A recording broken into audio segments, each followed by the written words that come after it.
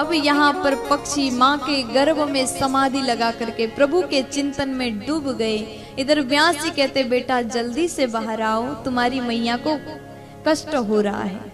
लेकिन सुखदेव जी कहते, पिताजी, मैं बाहर नहीं आऊँगा। क्यों? क्योंकि बाहर आऊँगा तो संसार की माया हमको पकड़ लेगी। और ये माया है ना, बहुत शक्तिशाली है। अगर व्यक्ति एक बार इस माया के जंजाल में फंस गया तो वहाँ से बाहर निकलना बड़ा मुश्किल हो जाएगा।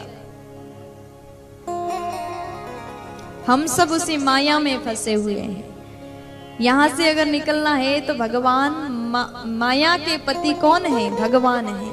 भगवान का भजन करना होगा। व्यास जी बोले कि तुम्हारी माँ को कष्ट हो रहा अब तो आ जाओ। सुखदेव जी बोले हम नहीं आएँगे। हमको यहाँ बड़ा आनंद आ रहा है। देखो, माँ के गर्भ के भीतर माया का प्रभाव नहीं होता। इसलिए जब बालक गर्भ में होता है ना, नौ महीने भगवान को याद करता है और भगवान से प्रार्थना करता है, प्रभु, एक बार यहाँ से निकाल दो। माँ के गर्भ में बड़ा पीड़ा होता है, कष्ट मिलता है बालक को। जब माँ खूब तीखा खाए तो उसके कोमल शरीर को जलन होता है।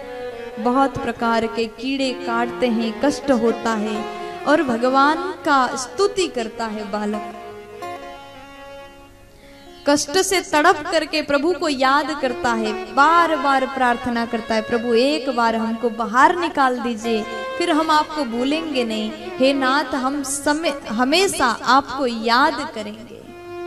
लेकिन भगवान जैसे बाहर आने को देते हैं, संसार में आते ही बच्चा रोता है और थोड़ा सा बड़ा होता है, उसके मम्मी पापा कहते, बेटा, मम्मी बोलो, पापा बोलो, बुआ बोलो, मौसी बोलो, यही चक्कर में फंस जाता है। प्यार से बोलो। सब कोई खुद को पहचानने में लगे हुए हैं, खुद को पहचानाते हैं। हम तुम्हारे ये लगते हैं, हम ये हैं, हम रिश्ते में वो हैं। लेकिन उस बालक को ये नहीं बताया कि तुम्हारा अपना भगवान है। उनको याद करो, उनको जानो, उनको पहचानो। ये नहीं सिखाया। अगर बचपन से आप भगवान के बारे में सुनाना प्रारंभ करोगे ना तो आपका बेटा विद्वान होगा। आपका बच्चा भक्त होगा। इसलिए बचपन ऐसा समय, बचपन ऐसा काल है उस समय आप जो कुछ भी प्रदान करो, वो बच्चा ग्रहण कर लेता है। ये बात ये बात बिल्कुल सत्य है। आपके घर में छोटा सा बालक है। आप लोग जो माताएँ कथाएँ सुन रही हैं, आप अपने बच्चों को ज़रूर बचपन से ही सिखाइए। कहते हैं, हर बच्चों के प्रथम गुरु कौन होते हैं? माँ। माता पिता बालक के प्रथम गुरु हैं। और माता पिता जो बताते हैं, वही बच्चे स्वीकार करते हैं। अब छोटे बच्चे हैं तो आप जो बताओगे वो मानेगा नहीं। आप कहोगे कि बेटा ये करो, वो करो तो उसको कुछ भी समझ में नहीं आएगा। जब तक आप अपने स्वभाव में, अपने हर दिन आप अच्छी अच्छी कर्म करोगे तो बच्चा उस कर्म को देख करके ज़रूर सीखेगा।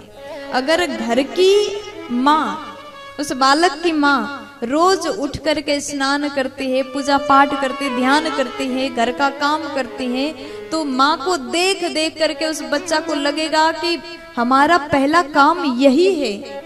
हमें उठ करके स्नान करना चाहिए, पूजन करना चाहिए, भगवान के मंदिर में बैठ करके थोड़ी देर माला जप करना चाहिए, वो सीख लेगा। लेकिन आप सुबह उठते ही मोबाइल लेकर के बैठ जाते हो तो उसको लगता है कि पहला काम मोबाइल देखना होता है। प्यार से बोलो।